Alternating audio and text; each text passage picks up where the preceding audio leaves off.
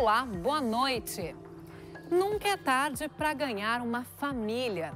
Hoje o Panorama fala da expectativa das crianças mais velhas que ainda aguardam adoção. Saiba como é a vida nos abrigos públicos e conheça iniciativas que facilitam a aproximação entre os pais que desejam adotar e futuros filhos. Veja também como está o movimento nas estradas. Dos 60 mil veículos previstos para a Freeway, quase 40 mil já se deslocaram em direção às praias. Reunião no Tribunal Regional Federal discute segurança no julgamento do ex-presidente Lula. E ainda, após reforma, estádio Aldo da Puz está pronto para receber os jogos do Gauchão em Rio Grande.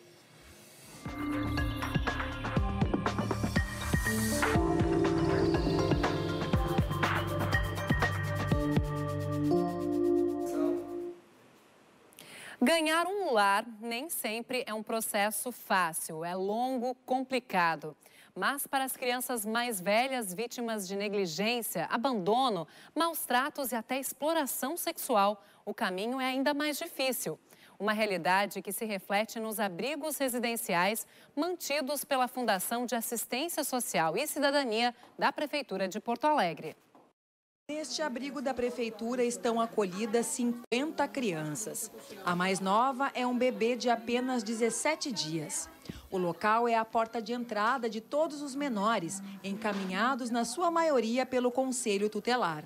Depois, eles são direcionados para uma das 11 casas mantidas pelo município. Os motivos para tirá-los da convivência com os pais são vários. Na verdade, elas estão aqui em função dos seus pais, né?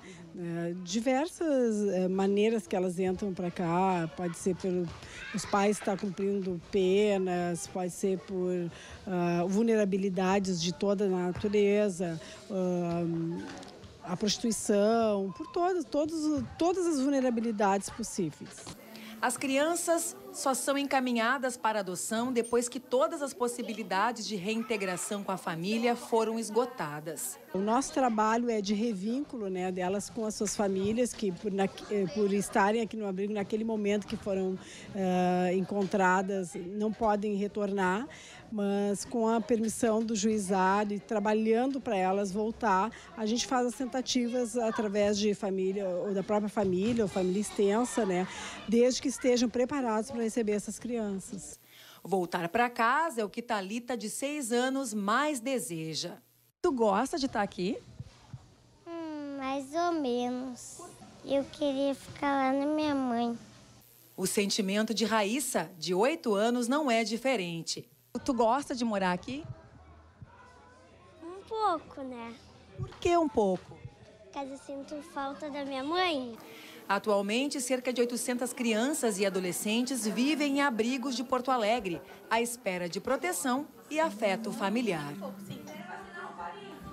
O total de pais registrados no Cadastro Nacional de Adoção é oito vezes maior do que o número de crianças e adolescentes à espera de uma família. Mas então, por que os abrigos continuam cheios?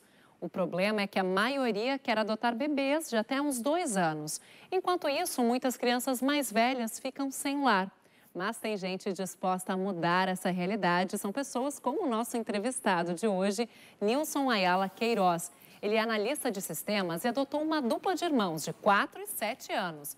Depois, ainda teve a ideia de criar um aplicativo que estimula a adoção de crianças e adolescentes fora do padrão mais procurado, né, Nilson? Boa Isso. noite para você. Boa noite. Como é que surgiu essa ideia e como funciona esse aplicativo?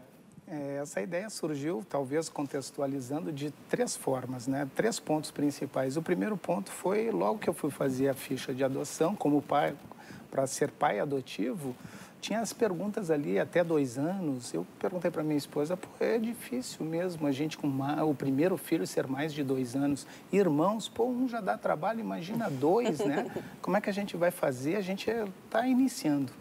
O segundo ponto foi quando eu fui lá no abrigo, né, buscar eles para serem meus filhos, né? E estava lá o preto e tudo mais, e de repente chegou o, a, todas as crianças que estavam lá e os adolescentes, e chegou um adolescente mais velho para mim e disse, com 15, 16 anos mais ou menos, né?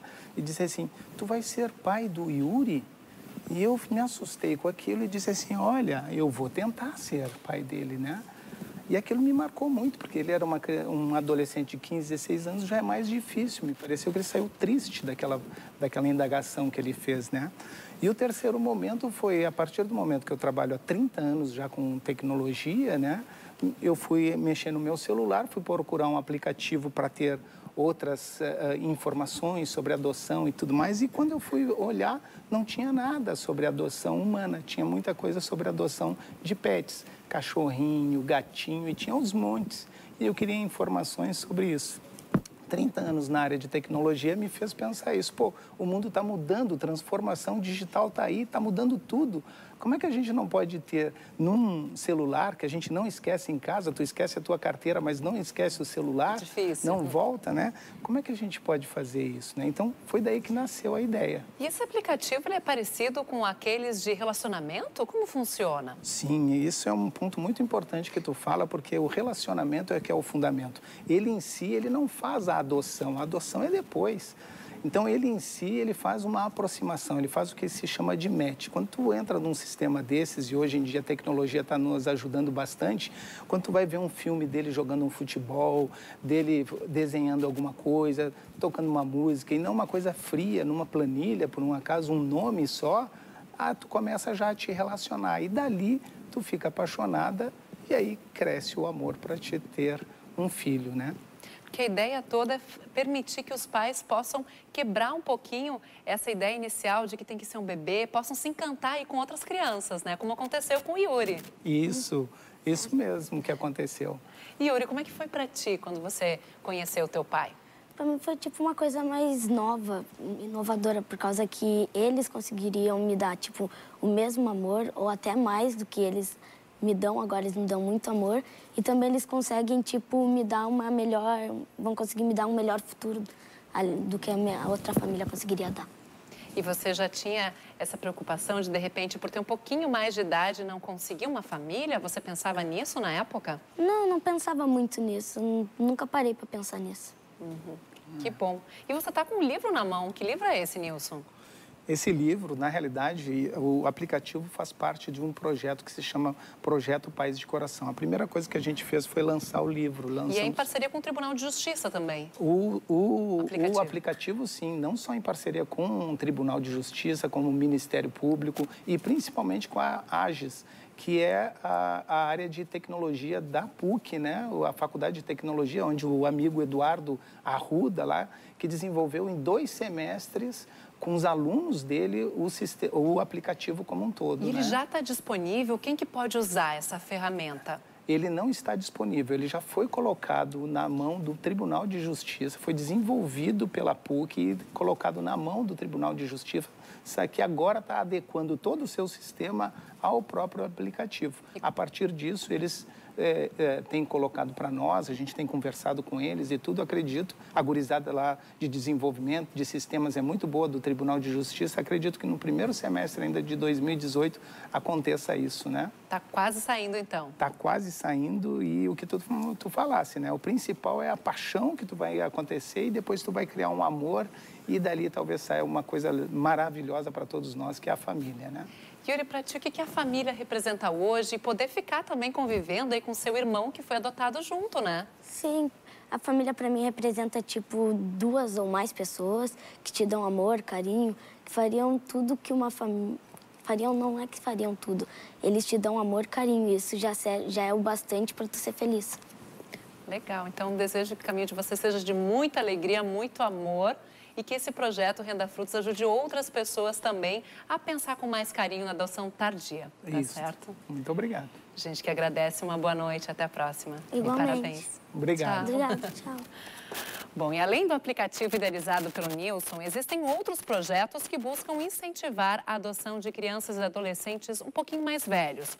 O Tribunal de Justiça, por exemplo, oferece cursos para mostrar a importância desse gesto. E a nossa equipe foi conhecer uma pessoa adotada que compreendeu o valor da família e agora está ajudando outros jovens a conquistar o afeto dos interessados.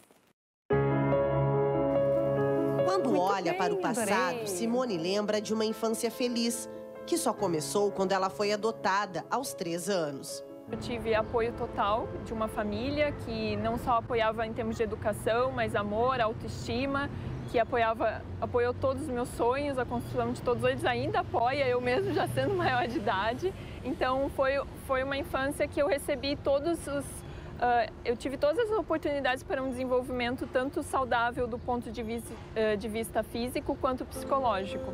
Filhos de pais dependentes de álcool, dois dos seus irmãos mais novos também foram adotados.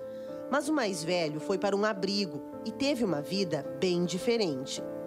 Ele tinha em torno de 10, 11 anos e exatamente por ele ter a cidade um pouco maior do que os mais novos, ele tinha muito mais dificuldade de ser adotado, ele não foi. Ele acabou crescendo em abrigos, ele trabalha, enfim, mas quando eu converso com ele, eu sinto que ele tem uma certa fragilidade de, de lidar com questões emocionais, né? Ele não foi tão bem preparado para enfrentar o mundo. Pais à procura de filhos, crianças que precisam de uma família. Segundo dados do Conselho Nacional de Justiça, o número de adultos interessados em adotar é muito maior do que o número de crianças que esperam nos abrigos. Mas então por que essa conta não fecha? Porque, assim como o irmão da Simone, muitos não têm o perfil idealizado pelos candidatos a pais. Ela tem a mesma chance de ser problemático como um filho biológico, né?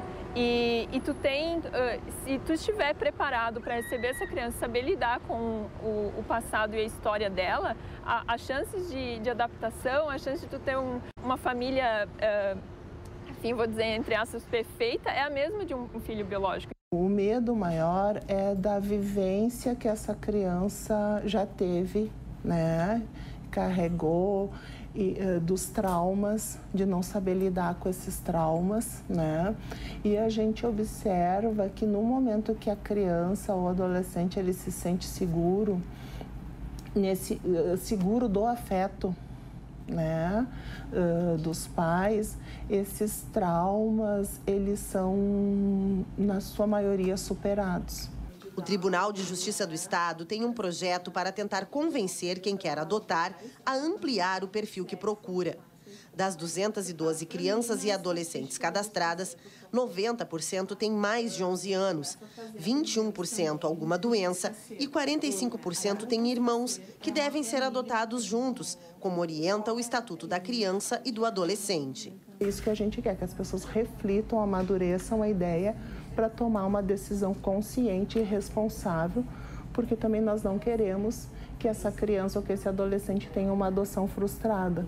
Né? Então a gente não, não quer ficar fazendo experiências para ver se vai dar certo. Simone reencontrou os irmãos e iniciou um projeto com comarcas do interior para contar a história de crianças que querem ser adotadas.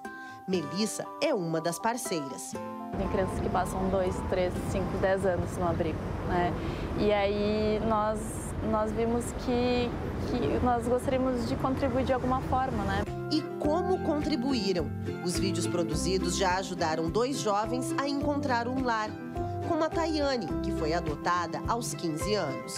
Com a minha família nova, eu quero um pai e uma mãe que me entenda, que quando eu estiver triste, eles estão junto comigo, que também eles que quando eles estiverem tristes também eles podem, possam contar comigo e que nas horas mais difíceis a gente pode estar junto. Depois do intervalo, os detalhes da reunião no TRF que discutiu o julgamento do ex-presidente Lula.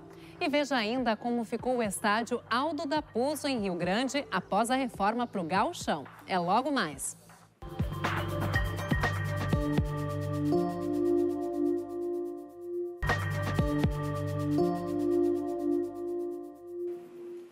Estamos de volta para falar do julgamento do ex-presidente Lula no Tribunal Regional Federal da Quarta Região em Porto Alegre.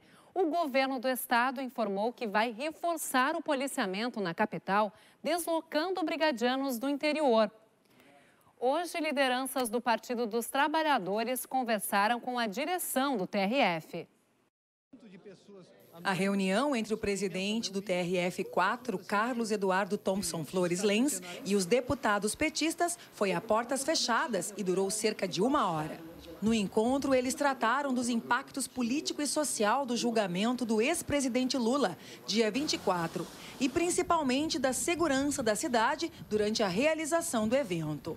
Uma operação de guerra com uma presença de atiradores de elite nos prédios em torno do tribunal, o que me parece algo absolutamente desproporcional. Né? O que, que as pessoas imaginam? É, quer dizer, nós vamos fazer aqui uma manifestação como tantas que já fizemos, né? em Curitiba, fizemos em outros lugares, dentro da mais absoluta de, uh, tranquilidade democrática. Da nossa parte, há total compromisso de eh, respeitar aquilo que a Constituição Federal estabelece. Em nota, a Secretaria Estadual de Segurança disse que instalou um gabinete de gestão integrada com a participação de órgãos municipais, estaduais e federais para definir o esquema de segurança para o dia 24. A secretaria também informou que ainda não há um planejamento e que, tão logo ele seja definido, será amplamente divulgado. E o preço da gasolina varia 30 centavos por litro nos postos da capital. Conforme o último levantamento feito pelo Procon, o valor mais baixo é de R$ 4,199 e o mais alto de R$ 4,499. Confira agora outras notícias do dia.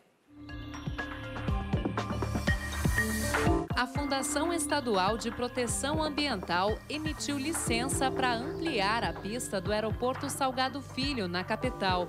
Com um aumento em 920 metros, será possível receber aeronaves de maior porte. Na licença, a FEPAM determina o monitoramento da fauna da região e o gerenciamento de resíduos durante a obra.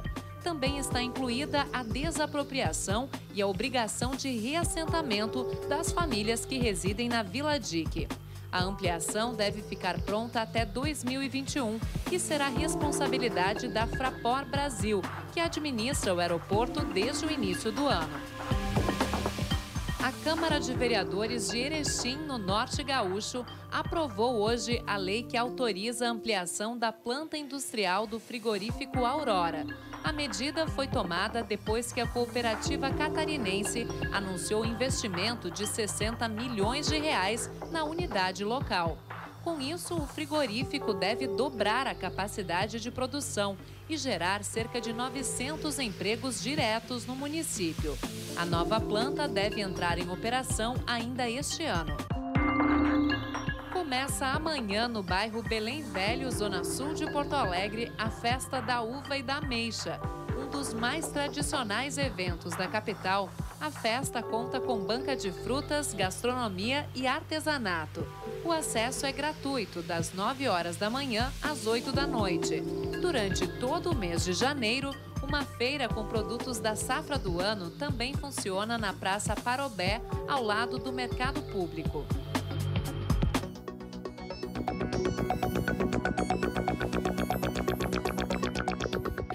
Agora de esporte com a Cristiane Matos. Cris, Grêmio oficializou hoje uma contratação, não é isso? Boa noite. Isso mesmo, Dava. Boa noite a você, boa noite aos nossos queridos telespectadores. Pode-se dizer que o Grêmio definiu hoje a vinda do substituto de Edilson. Trata-se do lateral direito Madison, que já desembarcou aqui em Porto Alegre e assinou o contrato por quatro anos. O jogador surgiu no Bahia em 2010, passou por ABC de Natal e jogou as últimas três temporadas no Vasco da Gama. Ele tem como principal característica a velocidade e a ofensividade. Esse é o quinto reforço do Grêmio que já trouxe Tassiano, Paulo Miranda, Alisson e Tony Anderson. E deve chegar ainda um centroavante para repor aí a vaga deixada por Lucas Barrios. E na copinha, como é que estão os gaúchos agora? Pois é, Dalva, olha, por horas essa fase de mata-mata, olha, tá difícil, tá dura. Só o Inter até o momento passou adiante. O Colorado se classificou ontem, mas foi, olha, de maneira suada sobre o 15 de Jaú. Os gaúchos saíram na frente com um gol de Brenner, mas no finzinho do primeiro tempo, Gustavo empatou para os paulistas. O jogo foi para os pênaltis e aí brilhou a estrela do goleiro colorado Carlos Miguel, que pegou duas cobranças. Ele que chama atenção devido à sua estatura. Sabe quanto, Dalva? 2 metros e 2 centímetros de altura. É muito alto, né? Bastante alto mesmo. Agora o Inter enfrenta novamente o Boa Vista do Rio. Já o Aimoré enfrentou nesta tarde o Curitiba e foi eliminado nos acréscimos. Os gaúchos saíram perdendo no segundo tempo, buscaram o empate, mas aos 50 do segundo tempo tomaram um gol e ficaram de fora, infelizmente. Para fechar a rodada dos gaúchos, o Grêmio joga daqui a pouco, às nove da noite, contra o Guarulhos. Esperamos que para o tricolor as coisas sejam menos complicadas do que foram para os outros gaúchos. E vamos falar agora então de Gauchão 2018, porque está faltando só cinco dias para começar o estadual e uma das partidas que teremos na primeira rodada será em Rio Grande, entre o São Paulo e o Avenida de Santa Cruz do Sul. E para quem mora no município, uma boa notícia: a Brigada Militar vistoriou o estádio Aldo da Puso e o liberou para receber as partidas do clube mais antigo do Brasil. Detalhes você confere agora na reportagem da TV Mar. Na tarde de ontem, o estádio Aldo Raposo passou por uma vistoria da Brigada Militar a fim de averiguar as condições do local para o gauchão de 2018. Com a presença do capitão Medeiros, tenente Rafael e dos dirigentes do clube, Paulo Renato Cutiara, vice de patrimônio, Ivo Juliano, diretor de patrimônio, e Patrício Jorge, gerente administrativo, a atividade se estendeu até às 15 horas, quando um parecer finalmente foi dado por parte da Brigada Militar. Pode-se considerar o estádio da PUS liberado para o jogo de quarta-feira? Sim, o estádio Alta PUS já está liberado. Inclusive já tem do próprio comando regional, já tem o, o Alvará autorizando e agora a gente apenas confirma, mas está autorizado já. Sobre as melhorias feitas no estádio pela atual gestão, o capitão Medeiros destacou o notável avanço na parte estrutural do local. Olha, principalmente do ano passado para cá é uma melhora considerável, significativa. Tanto o aspecto visual quanto o aspecto de segurança não tem entulhos, as torcidas, as divisórias estão bem feitas, as pinturas para divisórias estão bem feitas. É uma melhoria considerável, do ano, principalmente do ano passado para cá. Por parte do Rubro Verde, o vice-presidente de patrimônio, Paulo Renato Cutiara, falou sobre a alegria de ter o estádio liberado para a principal competição do ano para o Esporte Clube São Paulo. Para nós é, é, uma sai um peso de cima da nossa responsabilidade, né? Porque a gente trabalhou muito, trabalhou essas semanas aí em cima de, de, de, de aprontar o estádio. E é uma aposta, porque o, o time começa a se preparar, né? Se, se, se, montar o time. E a gente não pode correr o risco de não ter estádio para jogar depois. Então, a partir desse momento, o departamento de patrimônio, que é composto por vários, vários companheiros aí que trabalham, trabalharam muito para que isso acontecesse, a partir desse momento nós estamos aliviados e garantindo para a torcida que quarta-feira podem vir tranquilo que a própria brigada já disse que está em condições de, de, de receber público com algum conforto. E Dalva, uma última informação. Hoje o Grêmio fez o seu último teste aí antes da estreia no Gauchão e deu um empate em 1 a 1 com o Avenida. Mas é bom lembrar, Dalva, que esse grupo é o grupo de transição. Não, não é são os titulares, ainda. não é oficial ainda. O oficial só se representa no dia 18. Boa noite para você e um bom final de semana. Para ti também, Cris. Até semana que vem. Até. E depois do intervalo, a gente mostra a previsão do tempo para este fim de semana. Ainda temos o um movimento de veículos. 40 mil já deixaram a região metropolitana em direção às praias pela Freeway. Nós já voltamos.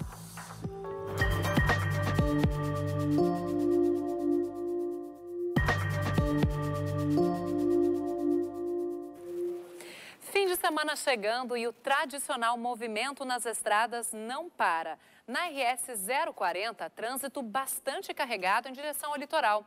São 18 veículos por minuto no pedágio de Viamão. Agora a gente vai ver como está a Freeway. No entroncamento com a RS 030 em Osório, a lentidão em direção a Tramandaí e a Estrada do Mar. Passam 80 carros por minuto nesse momento, o que representa 94% da capacidade da rodovia. Segundo a concessionária que administra a Freeway, a previsão é de que 60 mil veículos utilizem a estrada em direção às praias nesta sexta-feira. E até agora já cruzaram o pedágio de Santo Antônio da Patrulha 36 mil carros. O tráfego também promete ser carregado amanhã. Para quem está pensando em viajar tranquilo, sem tranqueira na rota, a indicação é sair de casa no sábado, depois do meio-dia. E quem está a caminho da praia vai encontrar tempo firme na maior parte do fim de semana. Mas há chance, sim, de pancadas de chuva isoladas no fim do dia. Agora a gente confere a previsão para todo o estado no mapa desse sábado. Amanhã, o sol predomina no Rio Grande do Sul. Deve chover apenas nas regiões norte e noroeste, mas é uma chuva que não vem em grande quantidade, assim como no litoral norte. E as temperaturas seguem altas. Em Porto Alegre, faz calor de 34 graus. Já em Santa Rosa, a máxima prevista é de 32. E na Praia de Torres, a temperatura fica na casa dos 28. Domingo podem ocorrer pancadas de chuva passageiras em praticamente todo o estado. E quem vai viajar para o litoral gaúcho pode ficar tranquilo com relação à balneabilidade das praias. É que todas estão em condições de banho, segundo o levantamento divulgado hoje pela FEPAM. Já nas águas internas é preciso atenção, porque seis pontos seguem impróprios, dois a menos que na semana passada. A lista inclui o balneário Poço das Pedras, em São Francisco de Assis, a praia de Passo Real, em Dom Pedrito, a Lagoa dos Barros, em Santo Antônio da Patrulha e a praia Ricanto das Mulatas, na Barra do Ribeiro. Também estão impróprios para os banhistas dois locais em Tapes, o balneário Rebelo e a praia do Pinveste. Durante o verão, a FEPAM divulga relatórios semanais que podem ser acessados pela internet ou através de um aplicativo lançado esta semana, disponível para download no mesmo site. Tá para quem pretende curtir o fim de semana tomando um banho em algum manancial de água doce. O verão é o período do ano que, em que mais acontecem mortes por afogamento. Só no ano passado foram 70 casos no Rio Grande do Sul, todos em locais sem salva-vidas. Na reportagem da TV Bom Dia, conheça algumas informações que podem fazer a diferença para não correr perigo na água. Música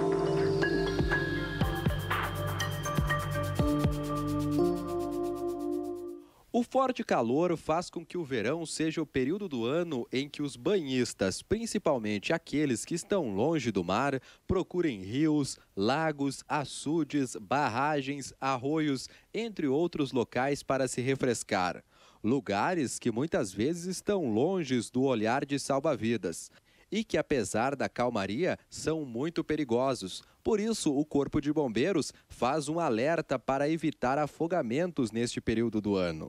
A pessoa que vá em água, piscina, lago, sempre tenha conhecimento de onde que vai, vai entrar. Profundidade, se não tem uh, madeiras, tocos, algum objeto que pode causar alguma lesão.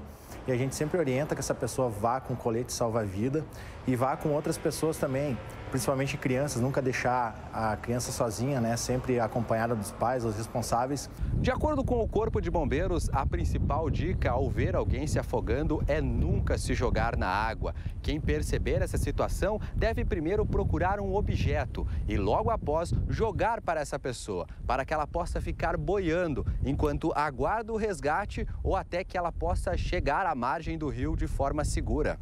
Exemplo, um colete salva-vida, uma boia circular ou algum material que dê uma flutuabilidade. Até um galho de árvore, dá um exemplo bem, bem esdrúxulo, que atire para essa pessoa para que ela tenha uma flutuabilidade. Porque, na maioria dos casos, a pessoa pode acabar indo no, numa, numa fã de tentar salvar essa pessoa e vai ser mais uma vítima potencial que vai se afogar junto com essa outra vítima. Já dizia o velho ditado: água no umbigo é sinal de perigo. O próprio Ministério da Saúde destaca que o afogamento é uma das mortes que mais ocorrem em todo o mundo. Apenas no verão passado, entre 2016 e 2017, foram registrados 70 casos no Rio Grande do Sul, 45 em rios, lagos, açudes e barragens, por exemplo. Preciso cuidado para todo mundo se divertir sem preocupação. Bom, o Panorama volta na segunda-feira, às 7 horas da noite. Um ótimo fim de semana para você e até segunda.